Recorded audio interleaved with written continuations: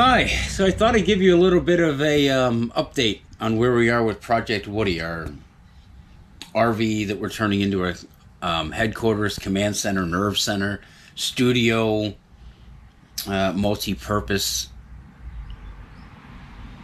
space, I guess. It's a 2006 RV, uh, Wildwood LE model. I believe Forest River was the manufacturer. It was donated to us by a couple uh, who have been longtime weather fans for years and years and years. They donated it to us. We were happy to have it. Um, and then we started realizing all the work we need to do, and we've been doing it. So this video is just going to give you a little update of where we are and where we're going and what work needs to be done. Let's get into it. Okay, let's take a tour. We have all the paneling off. We've cleaned up pretty good. This is trim that was donated.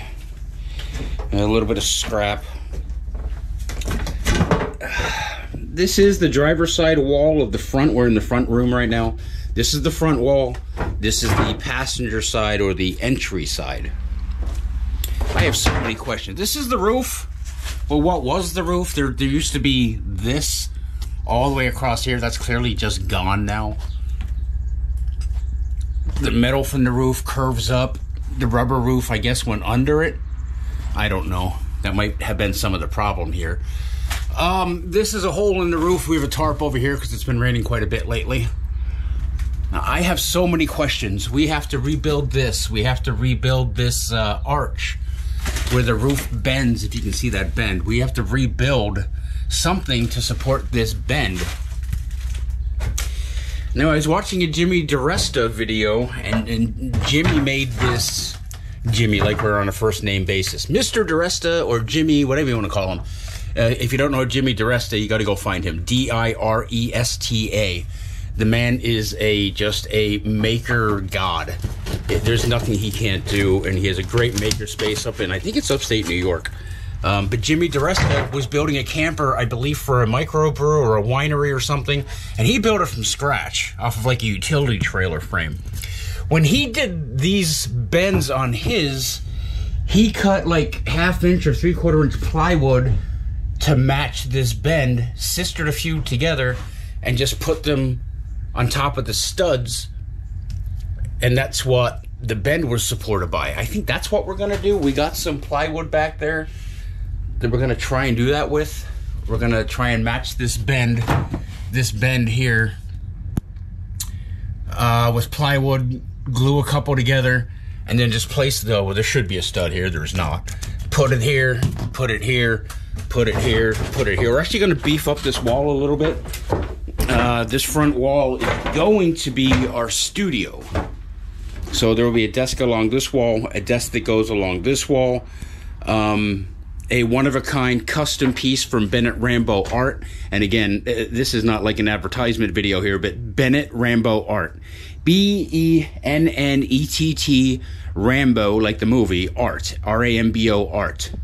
Uh, go find him on social media. Look at his stuff. He made us a four foot by six foot painting on two pieces of canvas after our trip to eastern Kentucky.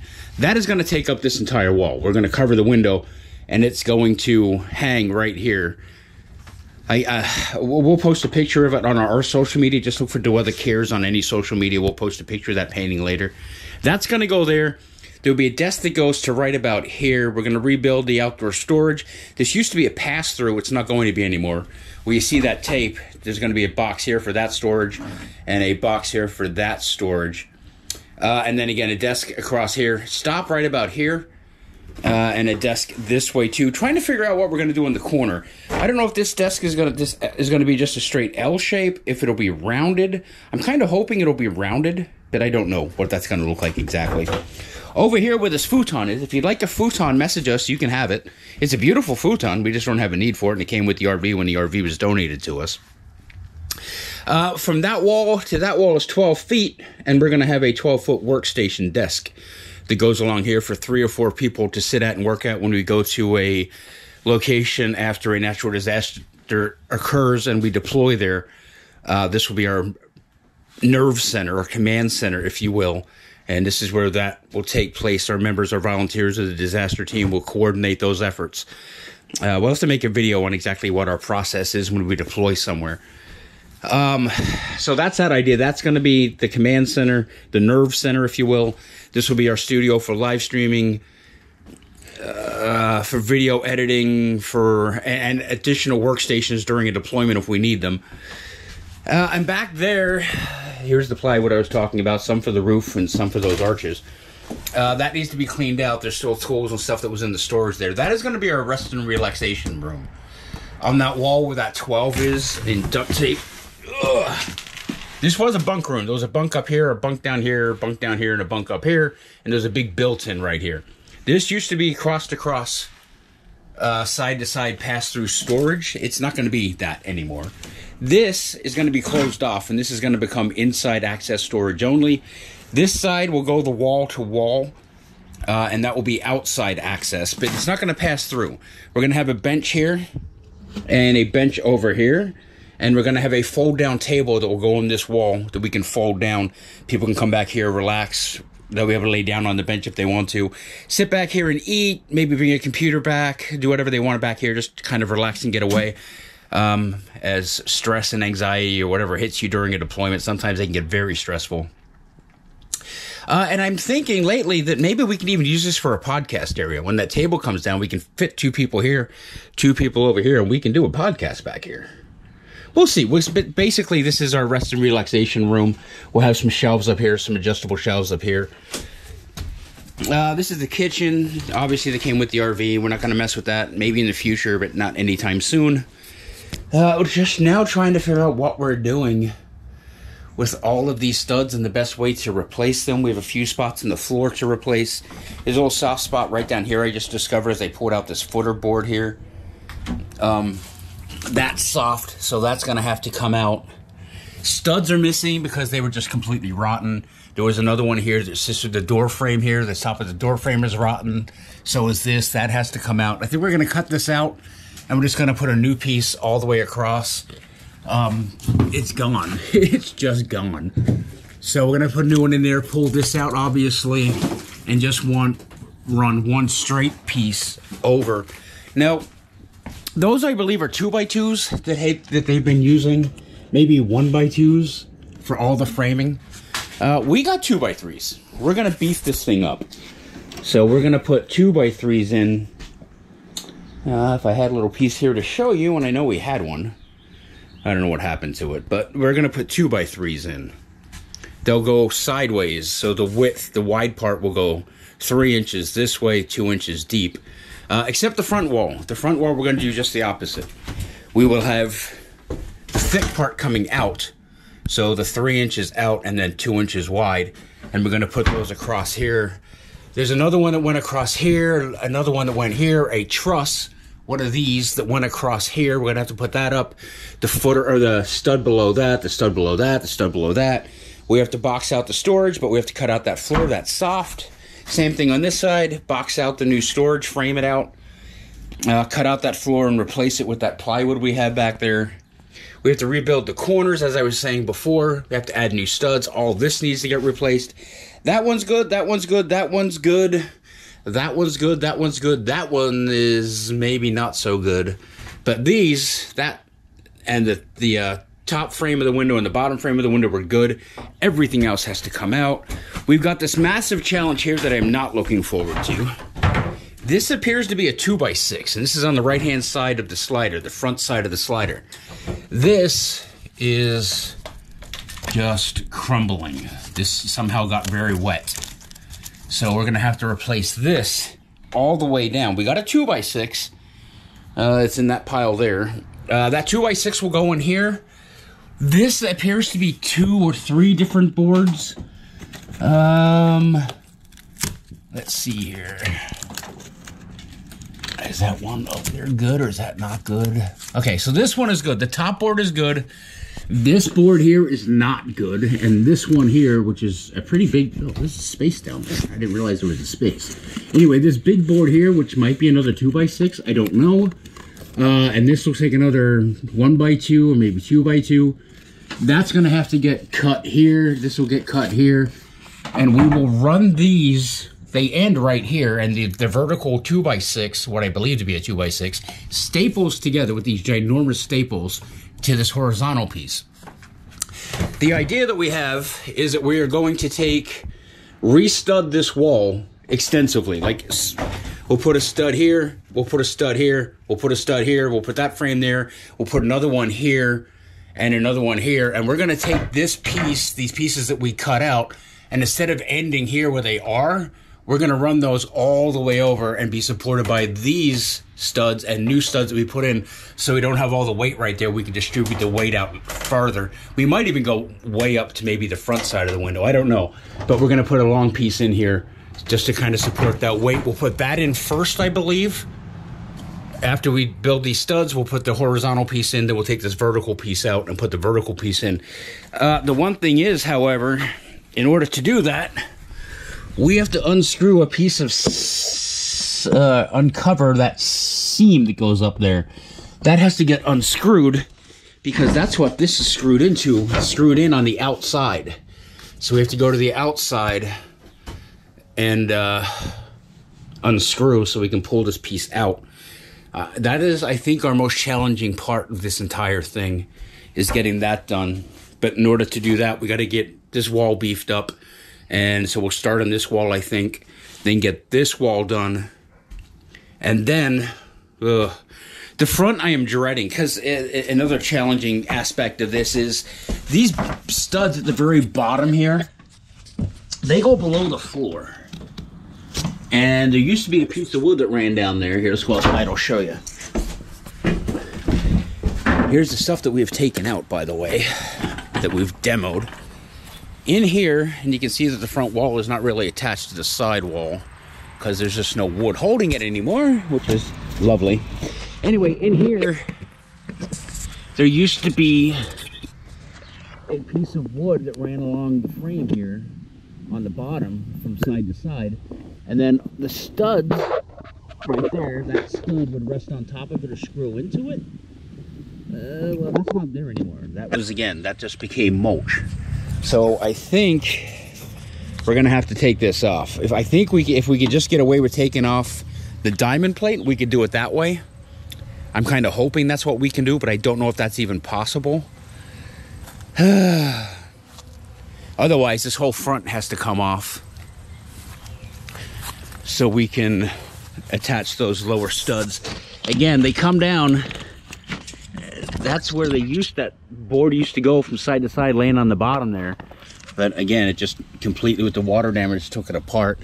Then there's all these staples that we got to worry about here. All these rusted screws that are under this trim, we're going to have to replace all of those. These screws are just terrible. Whenever you see a rusty screw, um, especially like if you look at these heads on the outside here, if you see rusted screws on the outside, you got problems. Um, because that means there's water, obviously. But also another thing is this is a water seal here. This is to make everything watertight with the screws that are under here. Why would they screw through? Is that normal? Are they supposed to screw through this? I thought the screws went under this. I don't know. That was just a weird thing that Lori, I think, noticed that the vice president of our board of directors noticed. And yeah, I don't think those screws are supposed to be there. This is uh, one of the bunks that we took out from the bunk room area. I just got a lot of work to do. And trying to get people to have the free time to help is a little difficult. People are obviously busy. We got work to do. That piece of floor needs to come out. Just a square. We'll cut it out and patch it. That one there, that one there, and again, this strip here that I just noticed when we took this baseboard out, or this footer out here um, that's going to have to get cut and replaced too. And that might actually go all the way along as this the, the footer here that runs along the floor or along the wall on the floor is soaked. So everything under that was soaked too. So we might have to cut this entire strip of floor, maybe six inches, and put strips of plywood in to patch it underneath the new studs. we'll see. Then I got this to worry about too. I don't know what happened here. But this is this is down. This is the door frame. It's good over here, it looks like. But some, for whatever reason, it looks like it dropped over here. And I can't figure out why that happened. I don't know why that happened, but the door is hitting over here, and now I know why. Gotta figure out how to fix that. no idea how to fix that. This is all dry back here, by the way. This is the back side of the door. That's all dry. That's why that's still hanging there. Uh, but this, obviously, is what We're gonna have to cut. This is soft. It looks good, but it's not. So we're gonna have to cut this somewhere. This is soft. This is gonna have to get replaced. Or maybe even just cut it out and put a new piece in. I don't know. We might scab a piece in here. Same thing here. We might just cut this piece here and scab a new piece in and put new supports under it. Because this is good and this is good all the way down. Uh, it's just a challenge. We have a lot to do. This uh, thing, when it's done, is going to be a game changer for our ability to help people after natural disasters. Um, and with all of us as volunteers doing it for a very small nonprofit with really no income at all or no revenue at all, it, it's just very difficult. We had a donor donate the two by threes. Thank you to that person who wants to be anonymous. Um, another longtime fan who has helped us out with technical advice before. Uh, Joe, he donated this one by four cedar trim that we're going to use to trim out the floors uh, for base molding in here and the back room we just have a lot to do. Look, if you're a carpenter, if you're an electrician, if you have experience with rehabbing RVs, we could absolutely use your help. Um, not just your physical help, but your advice too. If you have any advice, man, we could use it. Message us um, on any social media, just at DeWeather Cares, all one word, on any social media and LinkedIn. Uh, leave a comment on our videos or our social media posts on YouTube or any of the social media. If you have any ideas, any suggestions, any tips, if you want to make a donation um, of materials or a financial contribution, uh, it would be helpful. Very, very helpful. In fact, we're not going to be able to finish this without it. Oh, but that's our plan. And then, of course, we have to replace some of the roof too. And so after we get the walls built here and the walls back there in the R and R room, uh, we'll go on top and we'll replace whatever we need to replace on the roof, which isn't really a whole lot to be honest. Most of the trusses are good. The center section is good, we believe. We won't really know for sure till we get up on the roof and get that up, the old rubber roof up. Um, and we do have a rubber roof kit, a new one to put on, but we got to get the roof rebuilt. But we can't do the roof rebuild until we get the walls rebuilt. So here we are. You can look at earlier videos and see what this did look like. It, uh, we did not expect this much work when we got this RV. Um, but we're happy to have the RV and we're, we're, we're really, really, really happy to have it because we're to, we're to get it done somehow, one way or another with help. Sweat and tears and blood. I bled quite a bit on this with screws and nails and whatnot. Um, but we're motivated. I'm motivated. We're gonna we're gonna do good things. We're gonna do. We've done a lot of great things with our volunteers in this organization, DeWeather Cares, for victims of uh, natural disasters, and this will facilitate our ability to do it again and continue to and do greater things, help more people. That's the whole idea behind this thing. Again, this will be our studio. That will be our R and R room back there and this area here is going to be a workstation from wall to wall. Well, that's where we are. If you have any ideas, any input, any suggestions, any recommendations, if you've got some experience doing this and have some ideas for us, let us know. This is not what we do. This is not what any of us do. Um, so we're kind of winging it, learning as we go. If you'd like to help us with advice or tips or materials or funding, everything is a not is a tax deductible. We're a nonprofit. Message us. You can find us on all social media and LinkedIn and YouTube at at DeWeather Cares. All one word. DeWeather Cares. Got a lot of work ahead of us. We've done a lot, but we have a lot of work ahead of us. Any support you can give us, again, whether it's ideas or knowledge or materials or funding, let us know. You can also uh, message us or email us with questions. We'll try and answer them. Subscribe to our YouTube channel if you haven't already. Follow us on social media if you haven't already. Share our posts if you haven't already. Uh, like, follow. That would help a lot too. Thanks for watching.